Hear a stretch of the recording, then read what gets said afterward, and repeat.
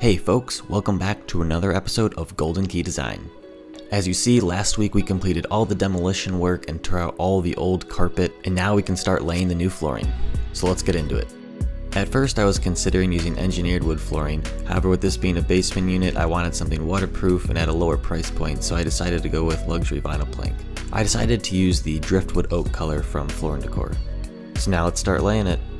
Even to get to this point took me about 20 minutes, but I lined up all these boards basically to hold the underlayment down because it has to go two inches up the wall. I didn't think I had to do that, but I read the directions and said I did, and then if I want the warranty not to be voided, I gotta do it the way it's properly installed, so I just have to do it up against all the walls. But I got that ready to go, so now I can start laying out my boards, but I need the one inch space, one quarter inch spacers around the edge. But here we go, about to get started. Getting started is honestly the hardest part of the process, but once you get those first couple rows laid, everything kind of starts to get straighter and straighter as more rows are added, and things start to go pretty quickly. I'll Show you what I have done with the floor. Starts here. So that was one day's work, but only probably four or five hours of actual work not the whole day. So I can, I think I can maybe even finish this room tomorrow. Hmm. Still have a lot left to do, but not too shabby. Move that over there tomorrow. Put the blinds up. Need some more blinds. But yeah, this is uh my little setup for the night. I need to study at some point though. I have audit coming up in one week and I'm not prepared, although it's not too difficult material, but like, I should be a little bit more stressed about this than I am.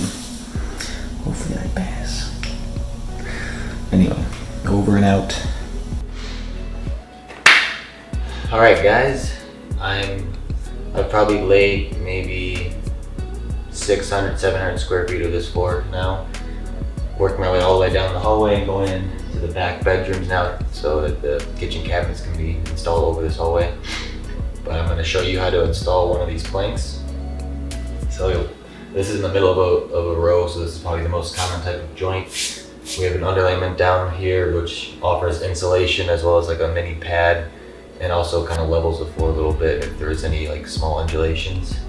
So first thing to do is make sure that the area is clear you don't want any dust underneath your floor because you're never going to be able to fix that once it's laid. Looks pretty clear to me. If there's small little particles, it's not the biggest deal, but if there's like a little pebble, obviously you're going to feel that when you walk on it. So you can take your flooring out of here. There's usually a little bit of dust on the back, so I like to brush it off into the box just to get off any little particles. And then I like to look at it, make sure there's not any repetition in the pattern, which this looks fine. Uh, so then you're gonna lay the long end first. You don't have to get it perfect, but you kinda wanna get it tight, get it in there, and leave a little bit of a gap here. Then once you got this in place, keep it at a little bit of an angle, maybe 15 degrees. You're gonna push it and slide it over until it bumps into the next board.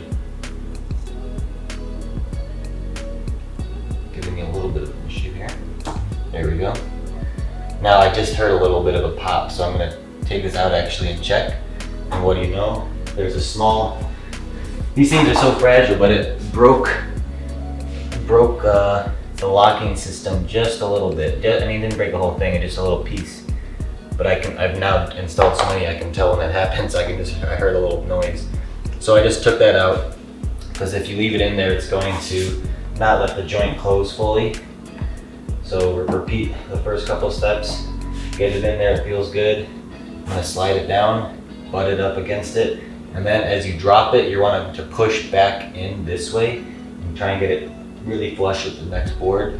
You can drop it down. Now it's not in, in yet. You're gonna take your mallet, you're gonna start, don't worry about this edge right now. This is what you need to bang in because you can't push this in by hand. So I like to just do a small little taps kind of get it in there just a little bit. And then once I see that it's almost flush, I hit it with some big hits to make sure it's fully set into the locking system. Rub it with my hand, make sure it feels all flush, no edges coming up.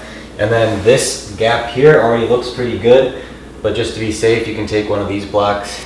These are specially made because you don't want to break the locking system on this end. If you just were to use the mallet itself, it would just break this all apart. So you just hang this over the edge and tap all the way down.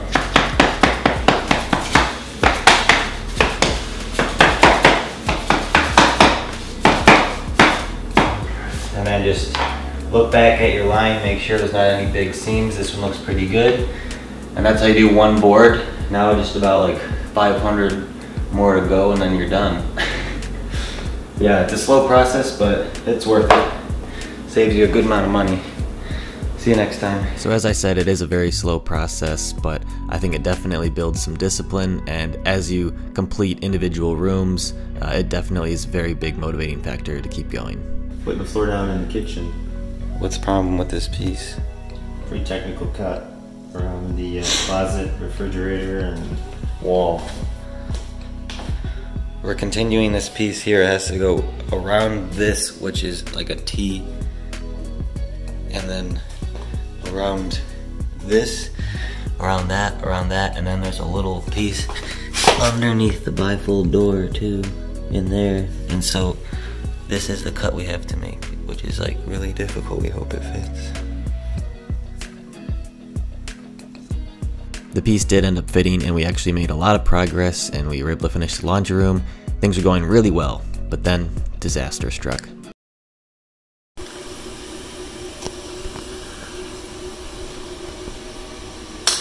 So I just had a nightmare of a morning.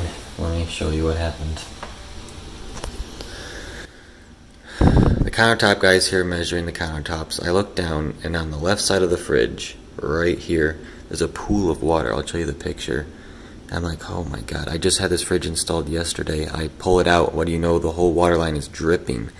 Like at least a drop or two a second. It's a long, it's a lot of water. So I'm trying to mop it up as best I can, but I all the blue here that you see, that was all floor an hour ago. That was all laid and done. But I didn't know how far the water got. I didn't know where it was, so I had to pull up all the boards. Luckily, the damage wasn't that bad. For instance, this is the main one, and this one over here, which was like the hardest board to cut. I'm gonna have to recut the whole thing, but you can see all the water. You know, it's not that bad, but even that, I still had to pull those up because that could have caused mold, or at least it would have smelled like mildew in here, which is the last thing I want.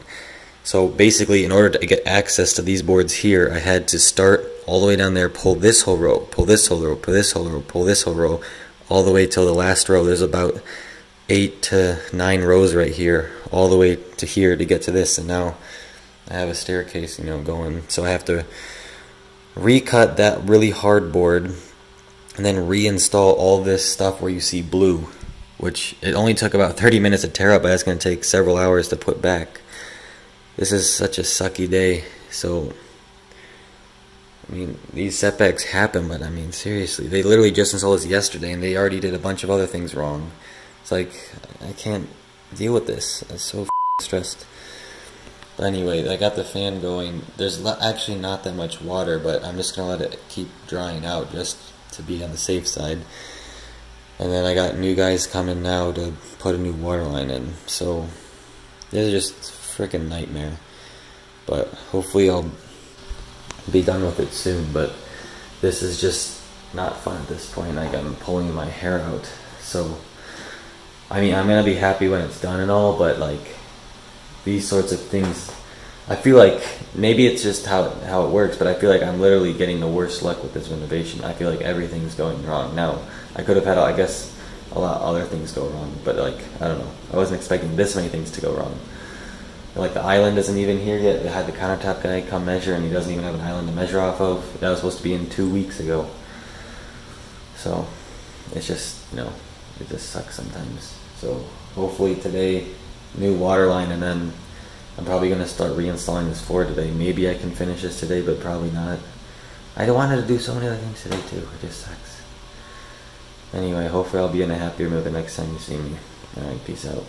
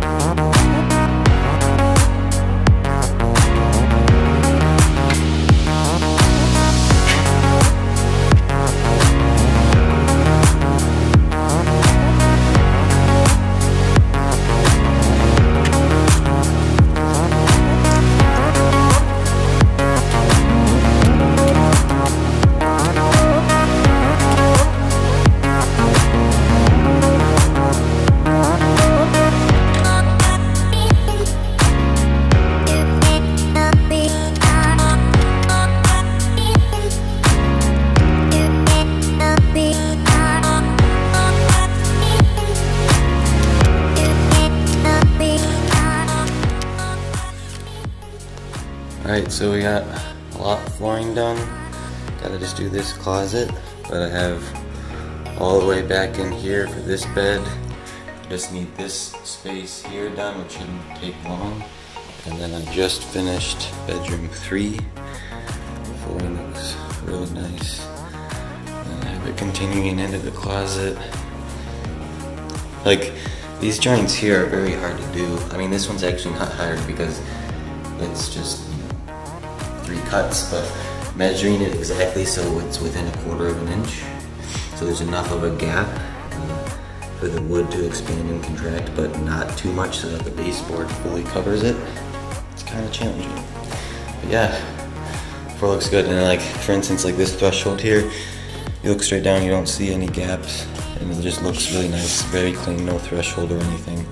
Same with that one, and then this will be a closet here. But yeah, there's an update. So that's a wrap on flooring. I hope you guys enjoyed the video, and if you did, uh, please give the video a like. It really helps us uh, get more viewers and helps with the YouTube algorithm. Uh, and if you haven't already, please subscribe. We got more videos coming your way every Saturday, uh, so subscribe and stay tuned for more DIY and renovation action. You can also follow us on Instagram and TikTok for even more updates. And leave a comment on how you think the flooring turned out and if you would have chosen a different color or a different type of wood or engineered wood or not vinyl, let us know. And as always, thanks for watching and happy building.